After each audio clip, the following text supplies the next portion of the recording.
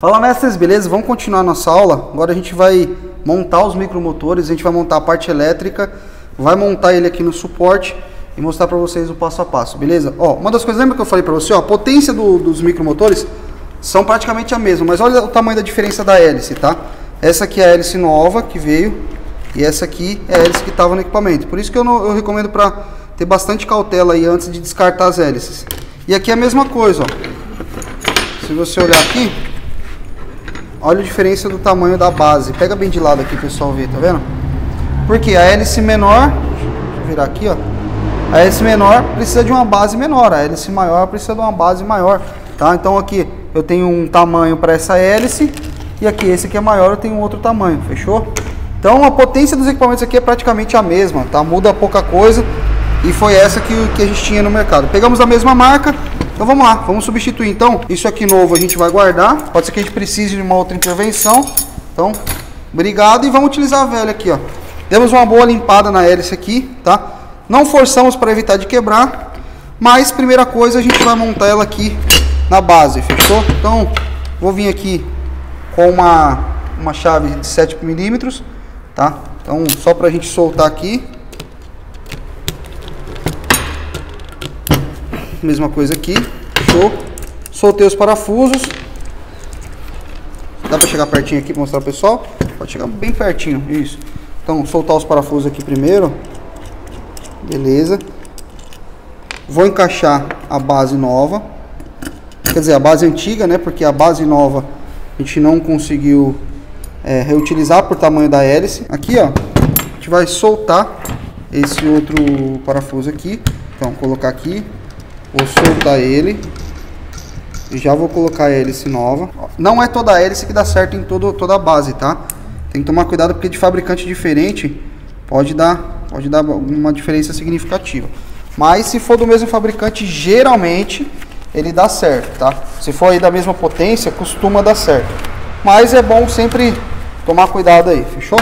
Vamos lá, vamos pressionar aqui.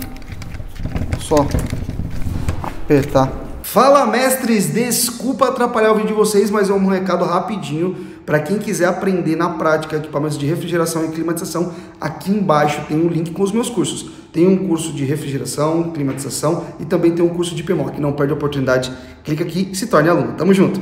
Beleza? Ó, uma coisa interessante que aconteceu aqui, ó.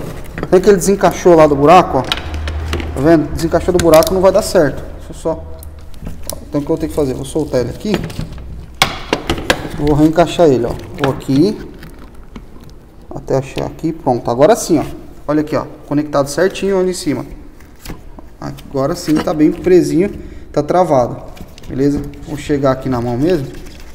Cheguei na mão, encostei. Agora eu vou vir com a chave e pressionar.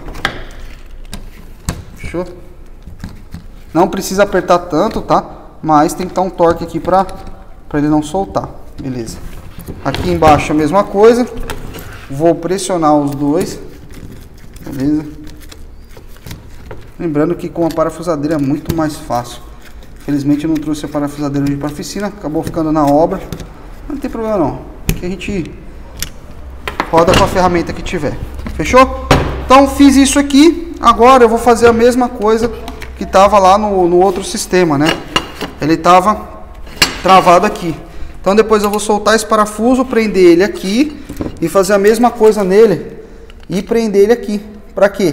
Para ele ficar uma base de apoio para o peso do micromotor não, não fazer com que ele desça, tá?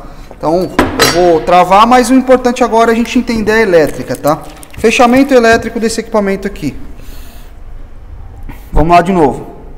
Se eu for fechar ele em 110 volts, eu teria que fazer assim, ó. Lembrando, pessoal, esse aqui é 220, eu vou fazer o 110 só para mostrar para vocês, fechou? É só para didática e de exemplo. Se você for fechar isso, tem que conferir qual é o fabricante e qual é o fechamento. Ó, se eu fosse fechar 110 volts, eu tenho que fechar o azul com o preto. Então vou pegar aqui, ó, azul e preto e vou fechar os dois aqui. Isso aqui é só para exemplo, tá? Beleza? Vem aqui, fechei os dois. OK. Vou pegar vermelho e branco. Tá aqui, ó, vermelho e branco. Lembrando, cada fabricante tem uma cor diferente, isso não é padrão para todos os fabricantes, beleza? Não é porque a Eugene é assim que todas as marcas vão ser. E até mesmo a Eugene pode ter cores diferentes, tá? Então fechei aqui, ó, azul com preto.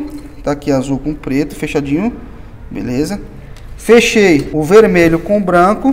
Tá aqui vermelho com branco. E aí eu vou colocar alimentar com 110 volts. Fechamento 110. Só colocar isso aqui na fonte de alimentação. Se fosse na tomada, por exemplo. Só colocar isso aqui na tomada, na fonte de alimentação. Ou no comando para ligar o ventilador. Mas eu vou fechar isso aqui 220. Então, 220, o que, que eu vou fazer? Eu vou colocar, eu vou fechar o preto com o vermelho e vou conectar na energia no 220 o azul e o branco. Então vamos lá, vamos fechar para 220. Preto e vermelho, vou fechar esses dois aqui. Claro que depois a gente vai fazer bonitinho, tá? A ideia aqui é só, só exemplificar para vocês, ó. Preto e vermelho aqui, beleza? E isso aqui eu vou isolar. Vou passar uma fita isolante aqui. Então preto e vermelho fechado lá e azul e branco que está aqui, ó, azul e branco, eu vou colocar na energia, seja no 220, né? Então aqui eu vou alimentar esse equipamento, fechou? Lembrando que cada fabricante tem um fechamento diferente, tem um jeito diferente aí de fechar os equipamentos.